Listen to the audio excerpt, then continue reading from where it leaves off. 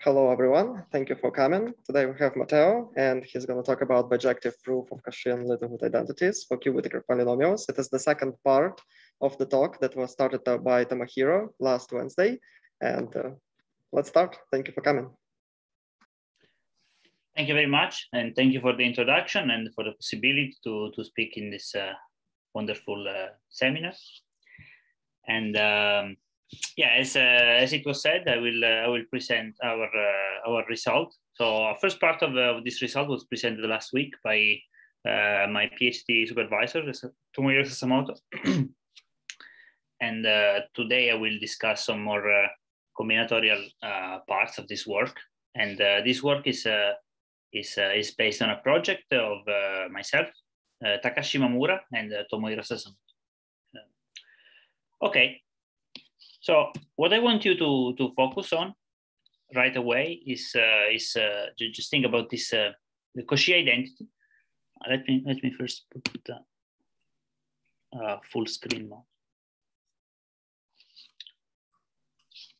Okay, so the, what you see on the, on the on the screen right now are the the Cauchy identity, the which are a famous uh, relation which hold for uh, for for um, well, several families of uh, symmetric polynomials, but what you see on the screen right now is the, the so-called Cauchy identity for the Macdonald polynomials. Here, the Macdonald polynomials are the, the polynomials uh, p lambda, depending on uh, two parameters q and t, and uh, labeled by partitions. And when we take a summation over all of the partitions of a product of two polynomials, weighted by an additional explicit factor, we find that uh, uh, all of these all of this mess rearranges into into a nice factorized expression in the in the in the right hand side. So as we learn from uh, from the book by by Macdonald, this Cauchy identity is not really uh, is is really a defining property of the of the Macdonald uh, of the Macdonald polynomial and uh, and one, one, once you start uh, from uh, from this uh, this identity and then you impose a certain other condition, then you come up with uh, with a beautiful theory that uh, Macdonald developed. But later on in the years, several other, I mean, of course, Macdonald polynomials were um, heavily studied in the last decades, and numerous numerous other properties and even alternative definitions have been uh, have been produced, and uh, of course uh, for this audience we I mean, we care about about maybe lattice lattice definition of the of the of the Macdonald polynomials, but in general there are there are several combinatorial definitions uh, equivalent uh, of the Macdonald polynomials, including uh, certain tableau expansions, like the celebrated Haglund-Haiman-Loehr formula, or there are also realization with uh, with vertex models or with uh, alcove walks, as we already, we've already uh, seen some of these uh, in uh, in previous uh, in previous seminars. So okay, so this is to say that we don't have to keep the we don't have to take Macdonald's definition as a as, a, as the real definition, but we can start from, uh, from a combinatorial definition of Macdonald polynomials and maybe we want to prove, as a result of the definition, the Cauchy identity. Is this possible? In particular, I will be interested in, uh, in a particular proof, in a particular um, type of combinatorial proof, which is uh, the bijective proof. So can we, can we prove this, uh, this uh, Cauchy identity by expanding the left-hand side and the right-hand side in a simple, simple manner uh, in monomials and then producing a bijection between uh, each monomials on the left-hand side and each one on, on the right-hand side. This is possible, certainly, when, uh, when we set the parameter q equal to t, where uh, we know that uh, the Macdonald polynomial degenerates into the Schur polynomial. And uh, this Cauchy identity can be proven using the RSK correspondence. Uh, is it, can, can we do better? Can we, can, can we prove this, this Cauchy identity in, in more general? what I want to present to, to you today is, uh, is, uh, is a positive answer of, uh, of, of, of, this question. And uh, only for the case when, uh, when t is equal to zero, but q is, uh, is free. Q can be, q can be positive. This is the result of, of, of, the, of this recent paper that I, that uh, we posted in the arXiv uh, two months ago. Okay, one month and a half ago. And uh, yeah, and then so we will present to you what uh, at least I believe to be the first bijective proof of of the Cauchy identity for uh, for Q-Whittaker polynomials. And uh, and of course uh, there is the outstanding problem of of I mean proving with a general type of bijection the, the Cauchy identity for Q and T both non-zero. But this problem we of course we still don't know how to solve. Okay, after this, uh, this brief introduction, I want to discuss the, the plan that uh, of, of, this talk. So uh, in order to, to describe to you our, uh, our proof of, the, of, this, of this Cauchy identity, I will first have to review uh, the strategy of the, of the proof of the Cauchy for Schur polynomials, which is the RSK correspondence essentially as I will prove, I will uh, discuss the RSK correspondence, I will also highlight uh, so, some of the major features of the RSK correspondence that, that, that I will then uh, generalize in order to, to apply the same, uh, the same ideas to, to the Q-Whittaker polynomials, basically adding a Q parameter to the story. And, uh, and after that, we will as, as, it, uh, as it is usual from uh, Cauchy identity, from, the, from the, this type of bijective proof, by refining the bijection or by considering a certain additional symmetries of the bijection, we can prove many more many more identities, including uh, Littlewood identities or uh, certain correspondences between skew, Schur, and Q-Whittaker polynomials, which were also mentioned last week in the, in the seminar.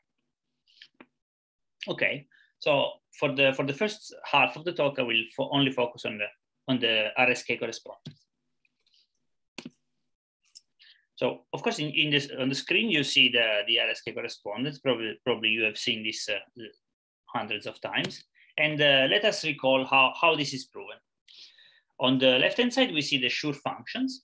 And uh, here I recall the, the combinatorial definition of the Schur function as an expansion over semi-standard Young tableau of a particular shape lambda. Excuse me, are you are you actually showing the slide you intend to? Because um, I, I uh, just see the uh, statement of the Cauchy identity. Uh, at the moment, there is there is only the Cauchy identity for Schur polynomials. Oh, okay. So, uh, uh okay. So yeah, it's, uh, it's, uh, the the text will appear. Thank you for, uh, for, uh, for the comment. Okay. Uh, okay, on the screen we see the, the, the Cauchy identity. The Schur polynomials are, uh, as, as usual, expressed by uh, with their combinatorial definition as a sum of a semi-standard tableau, semi-standard Young tableau. And uh, on the right-hand side, we, we expand by element with this elementary geometric summation each one of these uh, of these uh, terms, rational terms, as a, with this expansion. And uh, we can reformulate this uh, the Cauchy identity as uh, as we see in the in this third line, and producing a bijective proof of this Cauchy identity it means to, to have a, to find a bijection between the monomials in the, in the left-hand side, parameterized by pairs of tableau with the same shape, and uh, um, basically on the on the right hand side where we have um, n by n matrices with. Uh, uh, it still does not seem that you're talking about the slide that you're projecting. Mm -hmm. Okay, so um, for uh -huh. so um, uh, we only yes there there we go. Ah, okay, uh, okay. that was a problem. Okay, fortunately. Ah, okay, so okay, then uh, let's uh, let's let's continue. Any chance you could stare at that slide, the first slide, for ten seconds? Yeah, thank. Okay.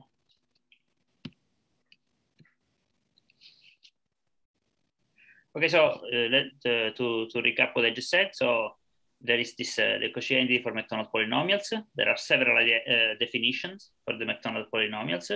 Uh, for example, the, the nice uh, Tableau expansion of Haglund, Haiman, and Loehr, or some new new techniques using vertex models, alcove walks, and so on. So can one start from this uh, combinatorial definition and prove the Cauchy identity? So as far as I know, when uh, Q and T are general, this is not possible.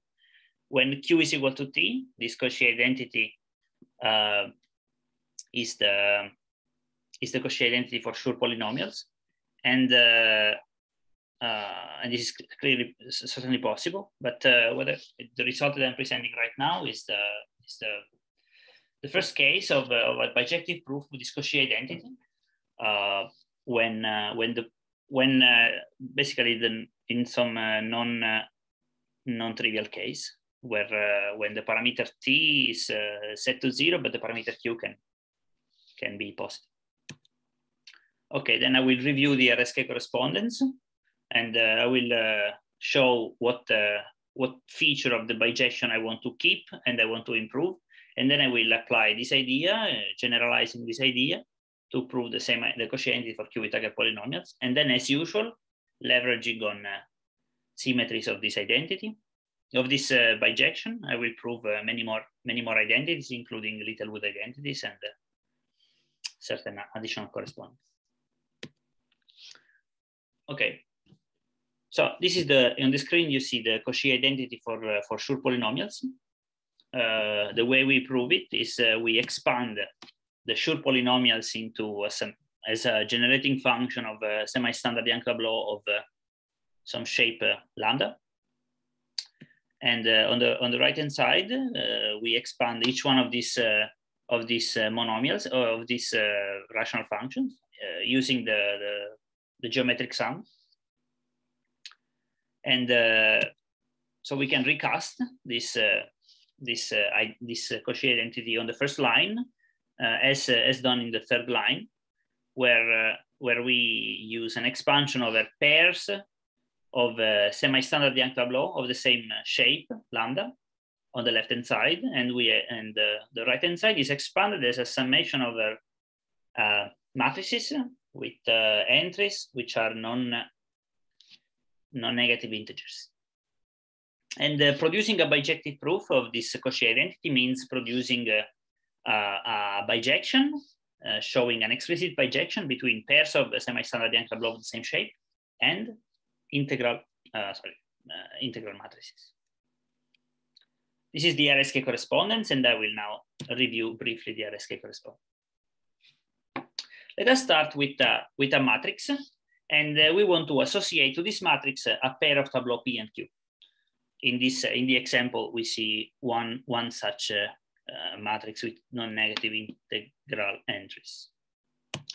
Okay, so we represent this matrix by replacing the numbers with, with bullets in, in, the, in, a, in a grid and by n grid in such a way that each bullet is placed um, strictly to the to the right of bullets below and strictly above bullets uh, to the left. And then we produce, uh, we, we can, one, one way to, to, do, to present the RSK is by using a Viennot uh, shadow line construction. Basically, each, uh, each bullet emanates uh, two, um, two rays.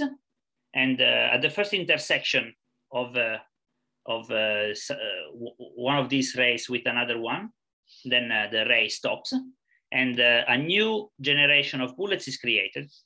If rays do not intersect anything, then it means that they meet the bottom and then we just, the, the, no, they meet the, the, the upper or right rightmost edge and then we just uh, let them uh, go out of the grid. From the new generation of bullets, we can uh, we can uh, create additional shadow lines uh, with another color and, and, we, and we repeat the same. So at the end of this, of this procedure, we have recorded for, from each cell, each cell at the boundary, what, what kind of colors emanate from that cell. And uh, from this, we want to construct uh, the tableau P and Q. We start from, uh, from the upper boundary. And uh, we see that we say that we, we, we, we want to read somehow from the upper boundary the tableau Q. From the first cell, we have two black, uh, black lines and uh, two black lines corresponding to the first generation of bullets that were created in the, in the grid. We, we, we think of them as uh, cells in the first row of the tableau P, of the tableau Q. Therefore, we allocate two one cells in the first row. Then we move to the second, to the second uh, cell in the boundary. Then we have a red and a, and a, and a black. It means that we will allocate one two cell in the second row and one two cell in the first row, and uh, and we continue. Then we move to the to the rightmost uh, boundary. To, sorry, to, yeah, to the to the right boundary, and then we uh, create, uh, as before, the, the semi-standard tableau. And this on, on yeah, and on the on the on the right, you can see the the the, the corresponding tableau uh, associated to to, to this uh, to this matrix. One uh, property of this uh, of this correspondence is the so-called is are the so-called uh, Greene invariants. So we can uh, we can read from this matrix here the the, the shape of the Tableau P and Q by maximizing the, the by maximizing the so-called increasing subsequences or uh, last passage times, depending on what language you want to use. So basically, we want to create uh, uh, lines which uh, which go uh, up and right. So you cannot go for pressing to the left, and uh, you want to maximize the number of bullets which are contained in a single such upright broken line. And we call this the longest increasing subsequence one. The longest increasing subsequence of this, of this particular matrix here is four, which corresponds to the first row of the, of the Young diagram. The second longest increasing subsequence is the, is the maximum number of bullets you can collect with two upright broken lines. And uh, Greens in the 70s, he showed that, uh, that uh, the RSK correspondence has this property that uh, lambda 1 plus lambda 2 is uh, the second longest increasing subsequence, and, and so on. So this, this is a property that, uh, that is important, and uh, I, want, I want you to remember, to remember this, this property because it, it will be generalized in the, in the, in the upcoming part of the talk. The RSK correspondence admits also another definition, which is also presented in the, in the book by uh, Bump and Schilling. And uh, is, uh, by, is uh, produced by imposing certain, uh, certain uh, symmetries, which are crystal symmetries. Eh, mean, crystal is, eh, is basically the theory of, of, eh, of crystal, which is used in, in representation theory of quantum groups. This idea, in fact, is actually the the the I mean the oldest the oldest uh, the original idea by by Robinson to which uh, used uh, imposing symmetries on the on Tableau and words in this case. Uh, so he defined the, the, first version of the of the correspondence by by just asking that certain symmetries are uh, satisfied. So these symmetries are, the, are given by certain operation on uh, Tableau or uh, matrices, which are uh, uh called Kashiwara operators. And uh, the Kashiwara operators, of course, they, they belong to a, to a deep and uh, much wider theory, but for the sake of this talk, we will only define them on Tableau and matrices. Let's, let's see what, what is a Kashiwara operator. So let's take a skew Tableau in this case. And uh, the Kashiwara operator, in this case E1, will, uh, will change the content of this, uh, of this tableau. In particular, E1 will take a two cell and, and if possible, turn it into a one cell. In general, the, the, the operator EI takes, a, I, takes an I plus one cell and uh, transforms it into uh, an I cell. So the, the, the, the content of the tableau becomes uh, uh, higher and higher in the uh, lexicographic order. Okay, so let's, uh, let's see how it works. So if, uh, if a column contains a two, uh, in general an, an, i plus one, I write uh, the, on the bottom of the column a closing, uh, sorry, an opening parenthesis. And if a column contains a one, I write a closing parenthesis. And, uh, and so on. So for example, uh, so it's not uh, matching very well. So the, the, we have a two, we have a closing parenthesis, one, we have a, sorry, we are closing parentheses two, uh, okay, so here there is a there is a mismatch on the on the thing. Oh, but but uh, okay, so this should be this should be the the action of the of the Kashiwara operator is that uh, somehow with this uh, with this procedure here with the parentheses, which uh, which I which is wrong which is wrong in this case, but uh, uh, I managed to to find that that the cell to be to be changed is the one highlighted in red here, so I will uh, find this uh, two cell and turn it into a one cell. So this is the action of the of the of the Kashiwara operators. This should be this should be actually a, a an opening cell as, as you can see from from this scheme. Okay.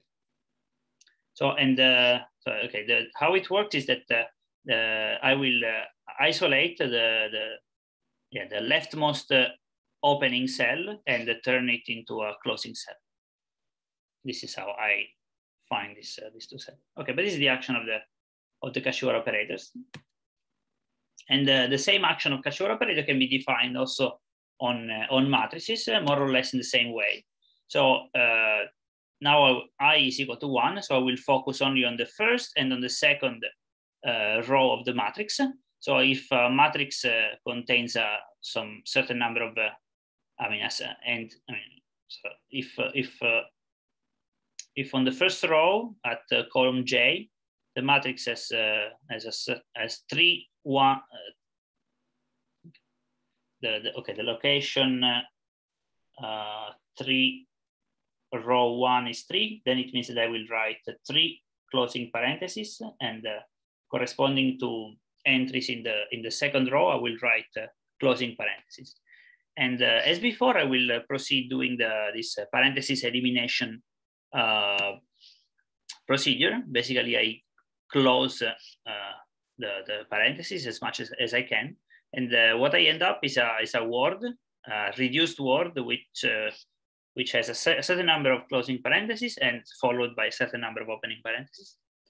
And then I identify the, the leftmost uh, opening parenthesis and I turn it into, into I mean, I, I this tells me which, uh, which, uh, which part of the matrix I want to modify and I move the entry uh, below. So this is the action of the of Kashiwara operators on, on uh, Tableau before and on matrices now.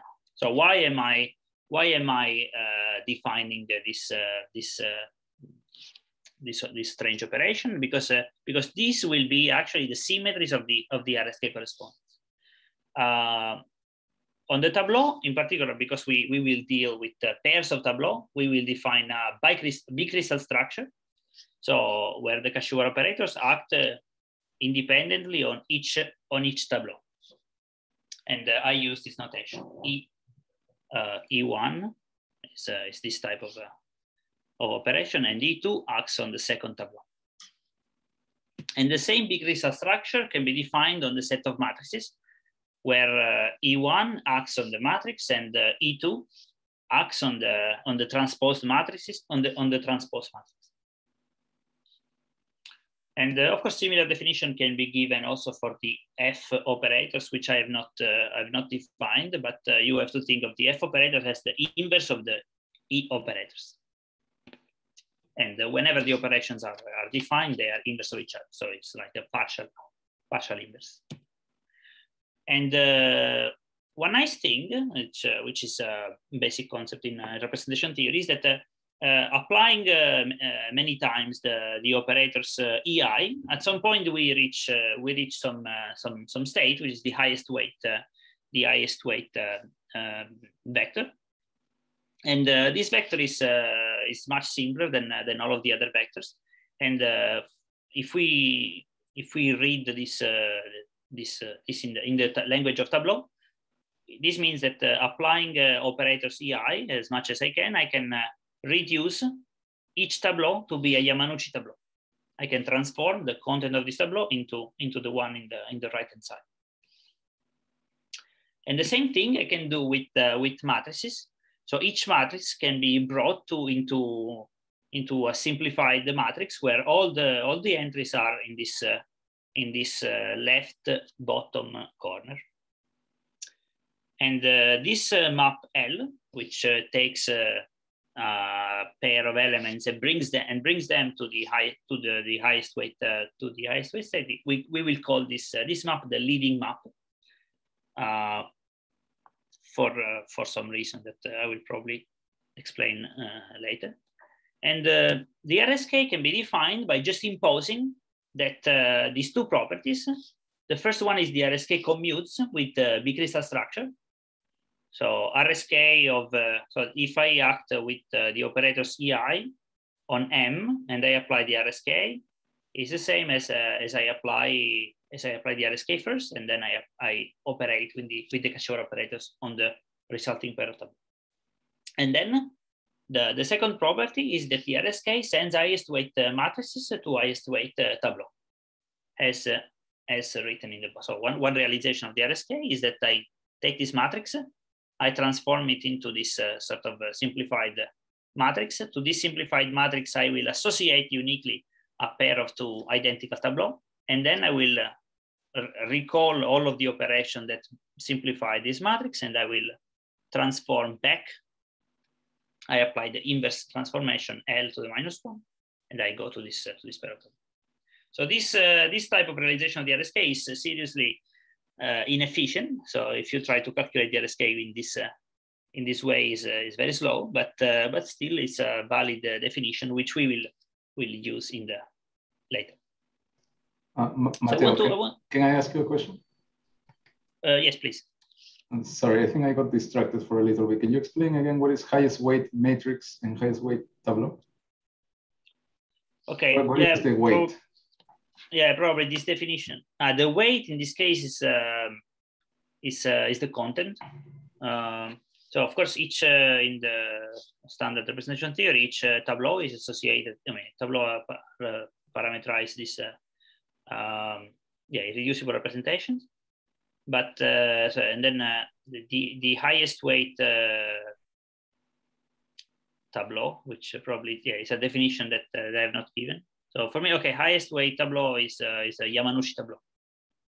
Uh, from each mm. semi-standard tableau, uh, applying Kashiwara operators, uh, probably takes some time to, to find the right combination of Kashiwara, operator, uh, Kashiwara operator CI. But if you apply them uh, correctly, at some point you, you can reach this, this a Yamanouchi tableau. So, mm -hmm. and Okay, for matrices, uh, the same thing holds. So you can uh, you start from a from a matrix, and you then you start applying this uh, this Kashiwara operator CI uh, one one and two. There there exists a state in which uh, you cannot apply. I mean, the, the operation of, of uh, EI one and EI two is not defined, and that is that is what I call the highest weight matrix. So of, of course, these these definitions. Okay. Okay, so uh, is, is there any other, other uh, question? Okay, okay then uh, so this, these are the ideas that I highlighted. The, the first idea is that uh, uh, there exists a nice geometric, geometric construction from which I can uh, produce from, from a matrix. I can, I can produce the, the, the, the two, the pair of tableau. P and And, uh, and uh, by looking at the matrix and uh, playing, looking for the, the longest increasing subsequences, then I can identify the shape of the tableau. This is the first idea. The second idea is that RSK, of course, RSK has multiple uh, definitions, but uh, one uh, rather general definition is that is the unique mm, crystal crystal morphism between uh, crystal isomorphism between the pairs of tableau and uh, and matrices. It's the unique operation that sends uh, highest state to highest states and uh, commutes with uh, with this uh, crystal crystal uh, Kashiwara, Kashiwara operators. So these are the two the two ideas that I will now generalize. I will queue the four.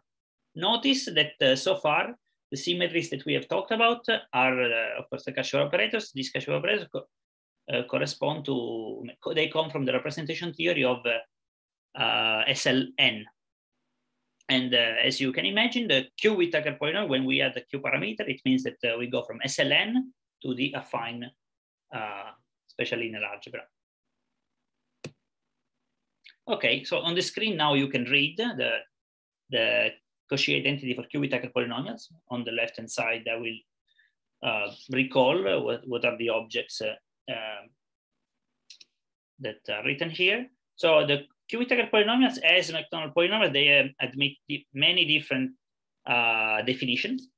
Uh, but the one that will be most useful for the sake of this talk is, is a combinatorial definition, or if you want a representation theoretic definition, which writes the Q Whittaker polynomials as a generating function of uh, what we call vertically strict tableau, which are uh, fillings of, uh, of a shape which only have the properties of being uh, uh, strict on columns. So elements on the same column are in strictly decreasing order, but there is no condition on, uh, on elements on the same row. The statistic H that you see here is called the intrinsic energy function and uh, comes from uh, either from representation theory or from solvable lattice models or from, uh, from classical um, discrete integrable systems. I, I will not define it here, but uh, as a moral definition, you can think that uh, the intrinsic energy tells you how far away is your vertically strict tableau from being a semi-standard. Here is an example of, uh, of a Q-Whittaker polynomials of the shape uh, that you can see here. So here I enumerated all of the possible uh, uh, vertically strict tableau. All of them are standard, except one. You, uh, sorry, not standard, semi-standard, except for one, which uh, in which in the first row we have a two and a, followed by a one, so breaking the semi-standard property. And in this case, the intrinsic energy is one. When Q is equal to zero, of course, this uh, setting Q to zero kills all of the non-semi-standard hmm, tableau. And uh, this definition reduces to the combinatorial definition of the Schur polynomial. The second object that I want you to, to focus on is the, the combinatorial factor B lambda. And uh, B lambda can also be written as a positive, as a summation of uh, uh, positive monomials by using, uh, again, the, this, uh, the geometric sum. So B, B mu, in this case, not B, B, B mu is, uh, is uh, uh, can be written in this form. And this, uh, this is a result that you can read, for example, in Macdonald. And expanding each one of these fractions in with a geometric series, we see that B mu can be thought as a generating function of, of, of this set of sequences of uh, non-negative integers such that the, the, the sequence is, uh, so uh, sequence is kappa 1, kappa 2, kappa mu 1. Kappa i is uh, uh, bigger or equal than kappa i plus 1 only when the columns i and columns i plus 1 in, uh, in, the, in the shape mu are, uh, are equal. So we take each one of these plateau and we we take uh, basically a, sig uh, a signature of the length of the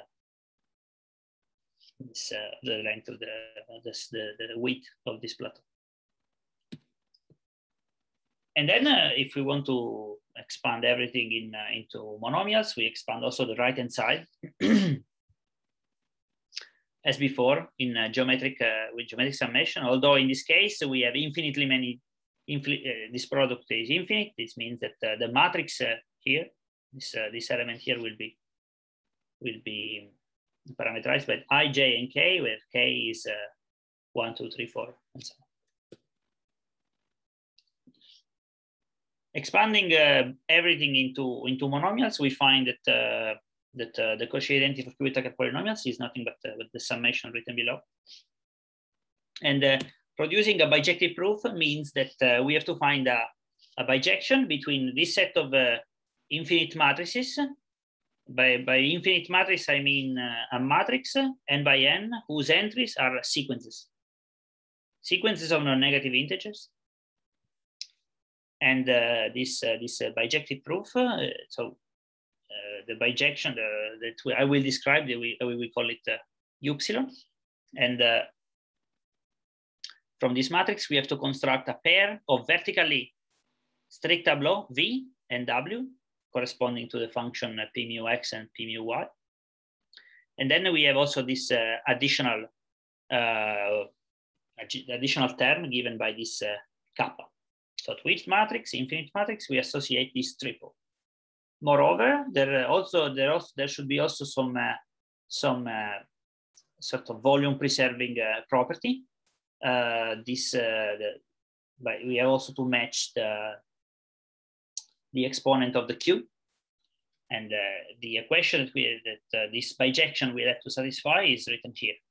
I will call this, uh, this condition sometimes the, a volume preserving property.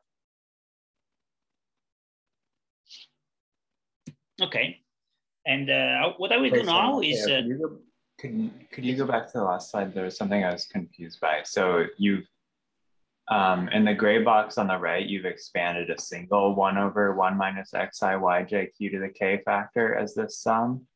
Um, but then you have this product over all k. And when you've expanded the Cauchy identity below the arrow, you still have k, but then is there supposed to be a product over k on the outside there? Or where where is yes. Um, what, what is happening with k in that formula? Uh, yeah, sorry. yeah, there should be also a product over uh, over k, right? Okay, so the sum should be enclosed in this product. Yeah, yeah, yeah. sorry. Okay. yeah, this is uh, I, I, missed I missed the one uh, one product. Okay. Thank you very much. You. Is there anything else? Okay. I will now proceed in uh, uh, constructing this, uh, this bijection. Uh, so in a, in, a, in a few talks that I've given before, I, I used a, a, certain definition, but now I will try to, to give a, a more, a more precise uh, definition of this, uh, of this bijection. So I don't know if you, if you were in any of my previous talks. Uh, okay. So let's take this, uh, this uh, matrix of, of integers here, the matrix of, uh, of sequences. And uh, let's try to see what kind of, uh, of what kind of triple we can associate to this, uh, to this, uh, to this matrix. So the first uh, natural idea is to just reproduce what we, what we did before. we encode this matrix of, of sequences into, into instead of a single, instead of encoding this matrix in a single rectangle, we we, concat we uh, concatenate uh, infinitely many rectangles, and and then at each at each rectangle, we we write the entries. we we write the the kth entries of the of the matrix. So basically, I'm slicing up this this this matrix and re recording as as I did before into the, the, the same matrix into this, uh, this, uh, this grid. Assuming uh, periodic boundary conditions, I can produce the same uh, shadow line construction as before.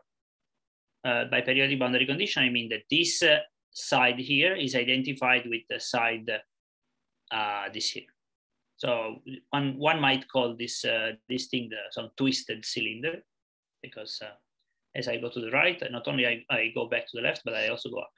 It's also a twist and uh, and okay, I can I can produce the same uh, the same construction as before. Uh, I can I can observe what kind of uh, edge, uh, what kind of coloring uh, I obtain in this in the uppermost segment here, and also in this in the rightmost segment. corresponding only to the to the first first one of these grids. And then as before, to each color I associate uh, a number. So for example, black will be the first row, uh, red the second row and so on. And then I produce from this uh, coloring uh, some sort of a tableau. For example, here I have in the first cell, I have a blue and a red. Uh, blue is, three, is the third row, uh, red is second row. So I, I create a tableau with a, a blue, the, with a one cell in the third row and a one cell in the second row, and so I move to the second uh, cell and to the third cell. Okay, and then I do the same for the for the rightmost edge, creating another another tableau. So this tableau, as you might see, uh, is not uh, neither semi-standard nor standard, nor uh, vertically strict. It's just uh, it doesn't have any any nice property, but uh, we can uh, shift Uh, uh, cells to the to the to the right and create from from this uh, from this original configuration a semi-standard tableau. If I do this this operation, I find that the the this the volume of the matrix M, which was this this quantity here, the summation of uh, over uh, over kappa of all of these terms, uh, is exactly the the the size of the empty shape of this uh, skew tableau And this was a result. This uh, is a classical result given by Sagan and Stanley, late 80s. Okay, but uh, what I want you to to to so of course this is not uh, this is not the end of the story. This is uh, still an RSK, uh, classical RSK type of uh, of correspondence. So this is not uh, the, our bijection, but um, what I want you to think is that uh, this is not the PNQ are not the, the final result, but are actually the initial data of an integrable of a dynamics which we will solve. Uh, so instead of it being the final result, they are the actually the initial the initial data. And uh, this uh, integrable dynamics, integrable uh, quote unquote, because uh, yeah, we never know what is the meaning of uh, being integrable, but okay, I will show you that, that this dynamics is actually nice. So, and this dynamics is given by iterating the, this, this shadow line construction or iterating this, uh, the, what I will call the skew RSK map. So to, to create this, uh, this dynamics, uh, let me enforce again uh, from this coloring here, uh, periodic boundary condition. So I copy this uh, coloring here in, in, the, in the left side of, the, of, of a new box that I create. And then I, I produce again another, another shadow line construction, basically assigning the left and the bottom edge uh, okay, I produce this, this shadow line construction, and this gives me the tableau Q prime and the P prime.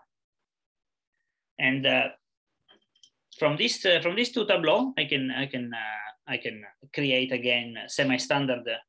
From this coloring, I can create again semi-standard skew tableau P and Q, P prime and Q prime, and uh, and I can repeat this operation arbitrarily many times. So this is only you have to think of this uh, arrow here as uh, only a one iteration of the of this dynamics. And then I can iterate the dynamics uh, a number of times. And uh, what we observe is that uh, asymptotically, if I iterate this dynamics uh, enough enough times, the, the, the, pair that I that I get P and Q becomes stable. So at some point, the, if I iterate the if I apply this uh, this map one more time, basically the, the shape will not, uh, I mean, of course will change, the, the, the columns will slide down, but there will be no more, no more interaction with, between columns. From these asymptotic states, I will uh, determine the tableau V and W. In this case, for example, the tableau V is given by reading uh, this column here, one, two, three, one, two, three, one three one three one, and also the the, the W tableau is uh, is given by the the by the Qn for n sufficiently large. So as you can see, okay, in this case, uh, it's, uh, it's a little unfortunate because these are not, these are standard Tableau, but uh, not vertically, uh, vertically strict. But in general, in general, this, uh, this is only for the sake of, uh, of this example because I, I needed to make things simpler. But in general, this pair here is, is a pair of vertically strict Tableau. There is no condition among rows. The first theorem that I want to present to you is that uh, there is a generalization of this uh, of the of the, the theorem by Greene, the Greene invariance, also for this uh, this, uh, this, this, this periodic uh, construction. This was not uh, this was this was so far not understood. Like what are the Greene invariants for this skew RSK, and the the answer is that if I take a matrix as, uh, as done before, and I try to, uh, to maximize uh, uh, increasing subsequences as done here with this, uh, with these green lines, um, what I get are uh, the shape, so the asymptotic shape of, of the dynamics, of the RSK dynamics. In particular, we can see that maximizing the longest increasing subsequence of course, we also have to remember that uh, we are in a periodic domain, so the paths they can uh, they can wind around the cylinder. So, for example, the longest increasing subsequence in this case is three because I can join these three, and this is the length of the first row. Then the second longest increasing subsequence is going to be five, which is the first plus the second row, and so on. And so this is the first theorem that I, that I present to you from, from our work.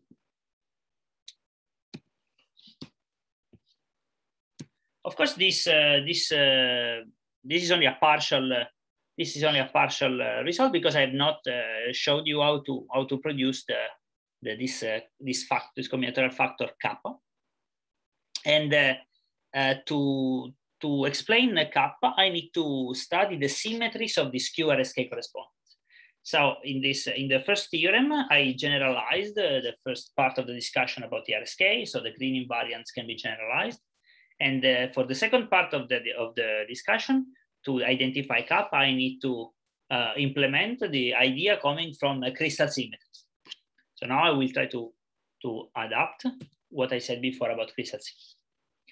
So a nice uh, fact, which can be proven using uh, some theory about the uh, de for example, is that uh, the Kashiwara operators are uh, so-called coplactic transformation which means that uh, that they do not affect the okay the, they do not affect this uh, this skew RSK map.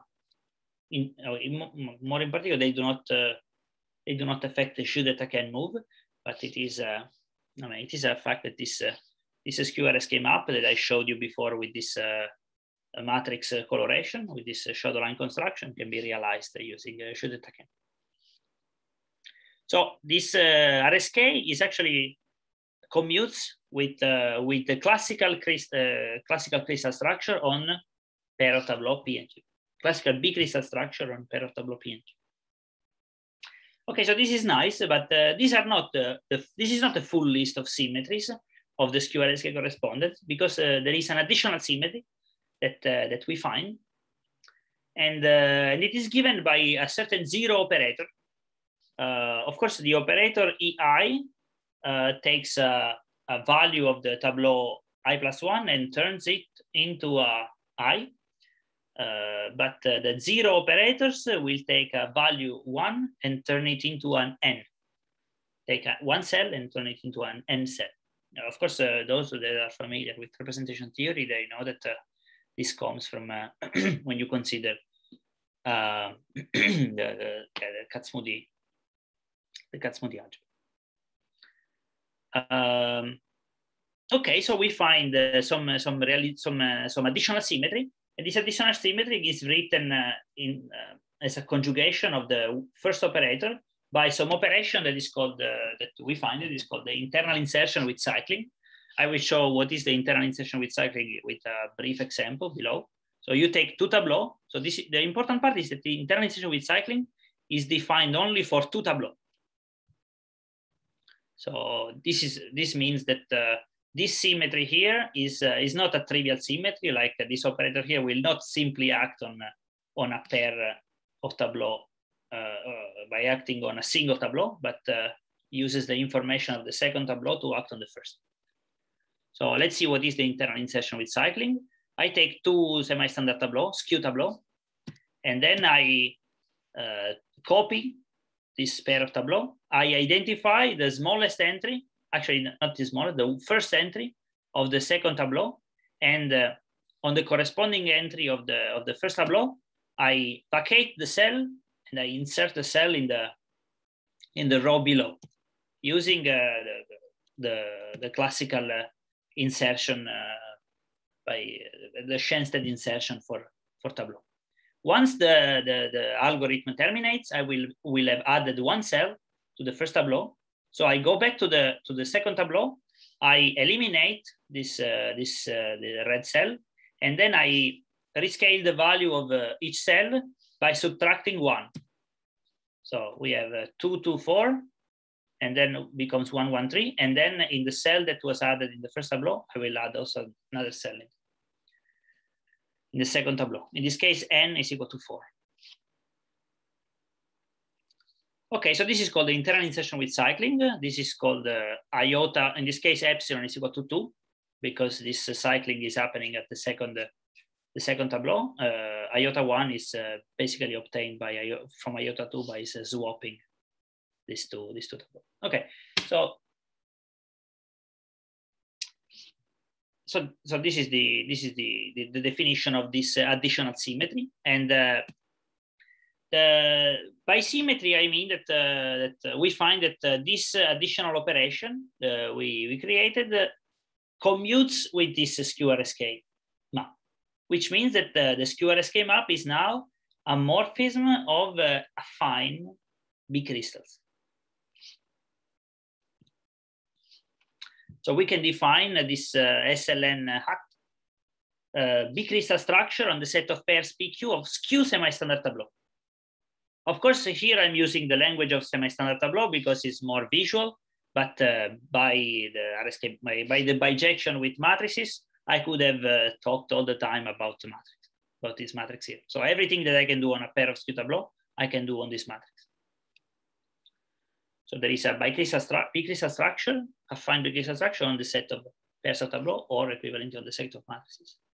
And the projection, which, uh, which uh, associate to the pair PQ, the asymptotic, uh, the asymptotic states, becomes a morphism of bicrystals, simply because the RSK is a morphism of bicrystal, step by step. So what can I do? What can I do with this uh, with this uh, with this with this uh, observation. What I can do is that uh, the the affine B crystal structure on the set of pair of uh, tableau V and W is actually very nice.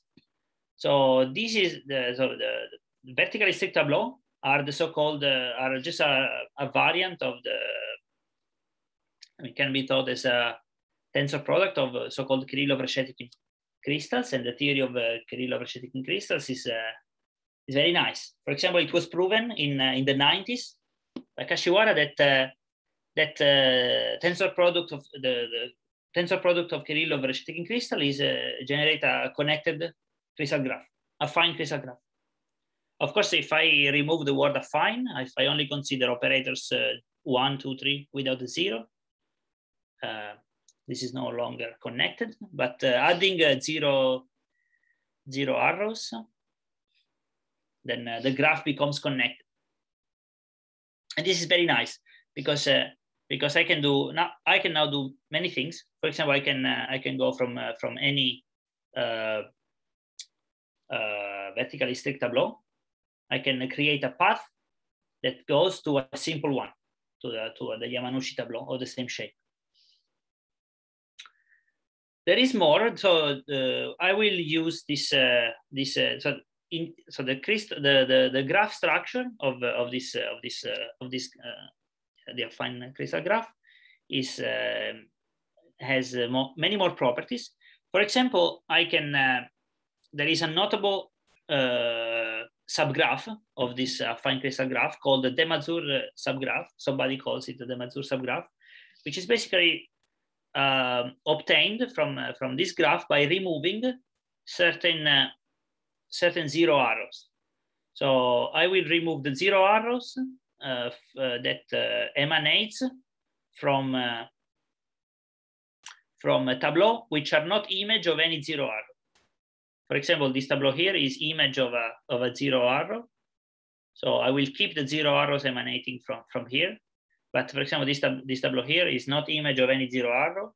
So I will uh, color in red this uh, the zero arrow emanating from here. And I will say that this uh, red arrow is not a Demazure. Arrow. So there is this, uh, I can uh, differentiate between, uh, between zero, zero arrows, creating this, this blue, this, this color here. And uh, keeping only the, the blue and the black arrows here, I create what is called the Demazure subgraph. And the nice property of the Demazure subgraph is that it is also connected. The Demazure subgraph is, uh, is, uh, is, uh, is another very important concept because, uh, because using uh, because using the Demazure subgraph, I can induce grading on this graph basically I can, uh, I have, I, I take a tableau, uh, a tableau here and I say how many, I count, uh, I, I, create a path that goes uh, from, uh, from uh, any tableau here to the Yamanouchi tableau by only stepping on the Demazure arrows. And then I ask on, on any of these sort of path, what is the difference between uh, F0 operators, which are the inverse of E0 operators, and E0 operators? This will be always a positive number. And uh, it was proven by Schilling and Tingley that uh, this is a possible definition of the, the intrinsic energy function. So to each tableau, I can associate a grading given in this form. I connect you uh, only going through the, the blue or black lines or black uh, arrows such tableau with uh, Yamanouchi tableau. And then uh, I, I do the, the difference between the, the zero F, F0 uh, arrows and E0 the Demazure arrows. This is called the intrinsic energy. So uh, probably I was uh, was uh, too sketchy in this uh, in this crash course on crystal graphs. Would, would is there any is there any question?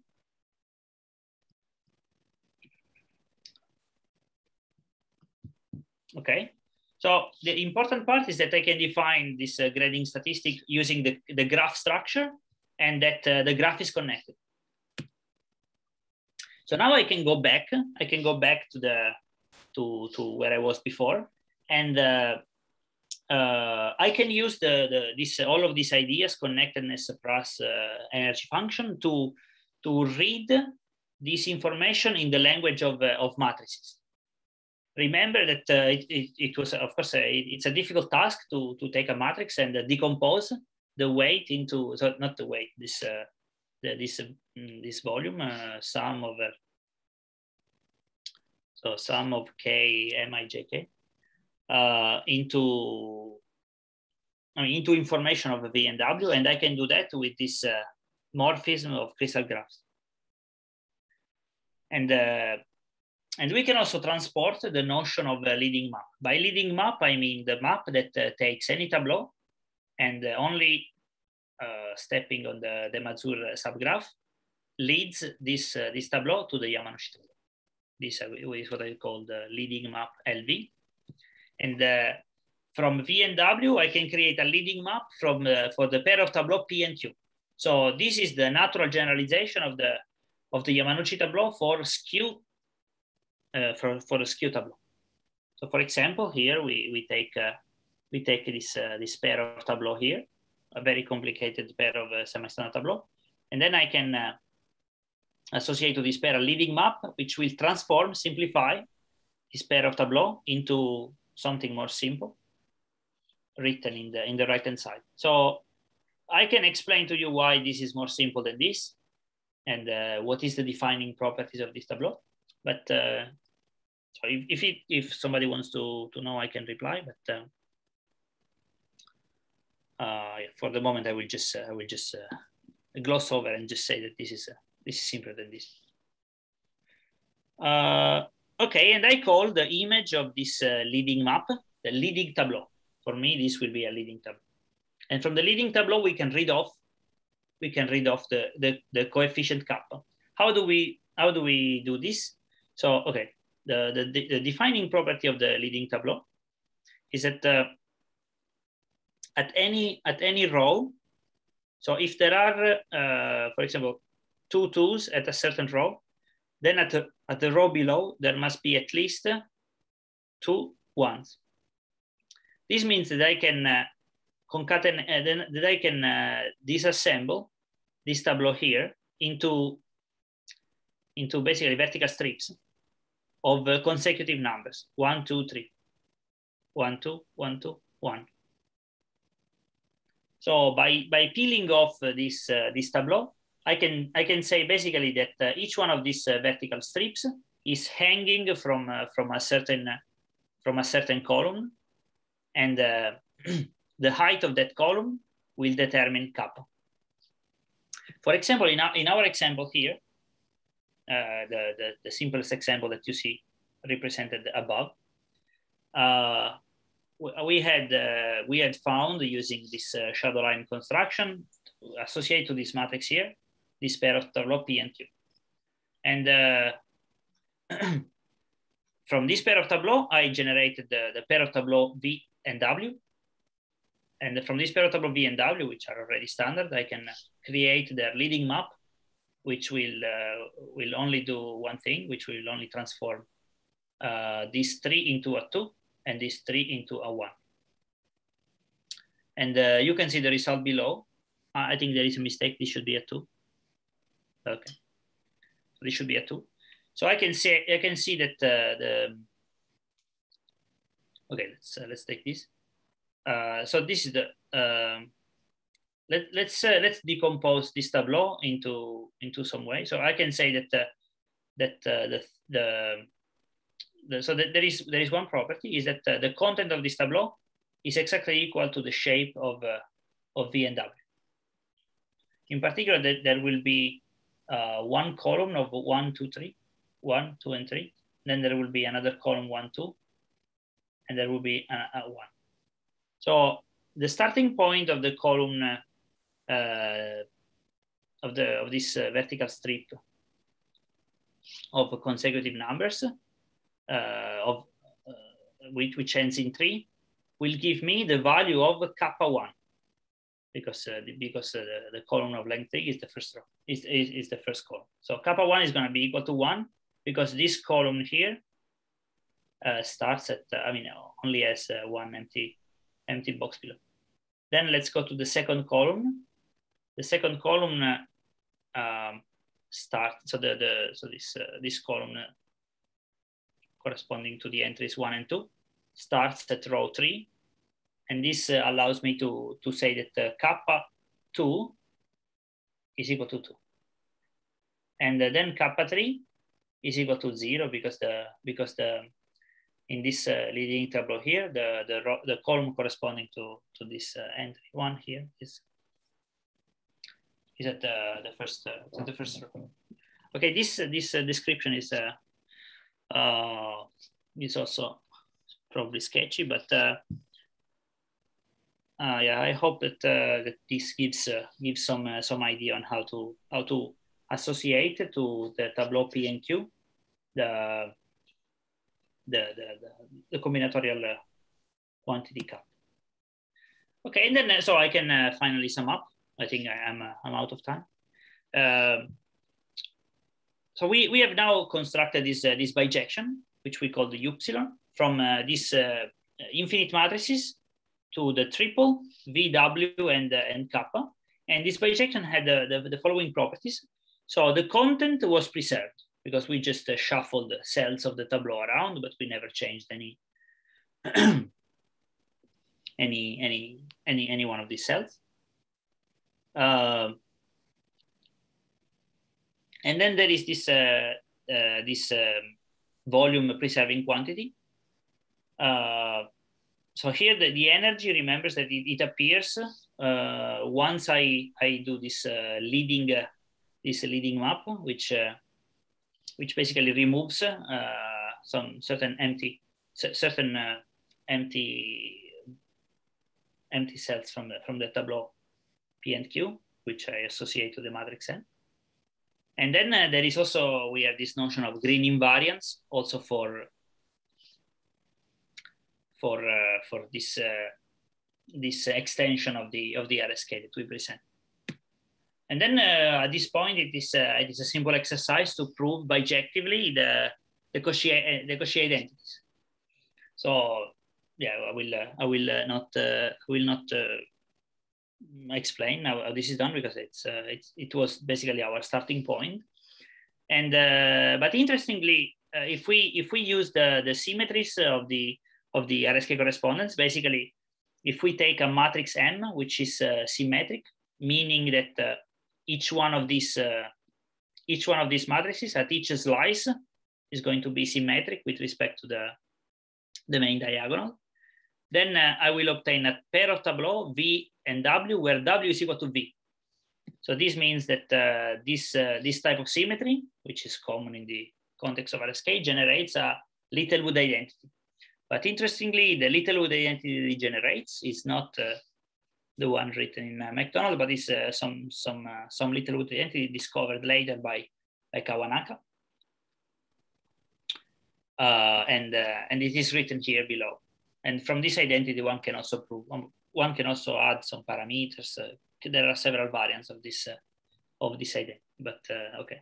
Just to say that using this identity, using this bijection that I presented, one can can can look at some properties of the bijection and prove different symmetries, including the some identities that were presented uh, last time by by Sasamoto, which uh, which match the the Q-Whittaker polynomials with uh, uh, skew-Schur polynomials, at least the, the, certain restricted sums of Q-Whittaker polynomials with restricted sums of skew-Schur polynomials.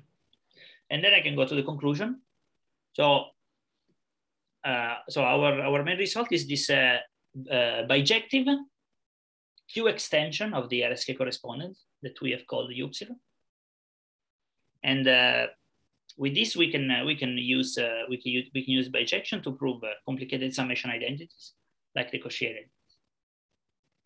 So as far as I know, this is the, the, the first time that uh, that a Cauchy identity outside of the of the Schur uh, or uh, uh, outside of the Schur case uh, can be can be proven can be proven bijectively, and uh, so if anyone knows uh, another bijective proof, please correct me because I really believe that this is the first time such result was, uh, was achieved. And uh, uh, as we have seen in last week's seminar, such, such bijection can be can be used also to produce uh, mutual refinements of Cauchy identities and that uh, for Q-Whittaker polynomials, and this relates the words of uh, of solvable non-free fermionic models like Q-Whittaker measure and so on with positive temperature free fermionic models, and this these aspects were covered last week. Okay, so this is the end. This is the end of my seminar. And uh, thank you. Thank you very much uh, for listening. I'll stop the recording and then we can have questions.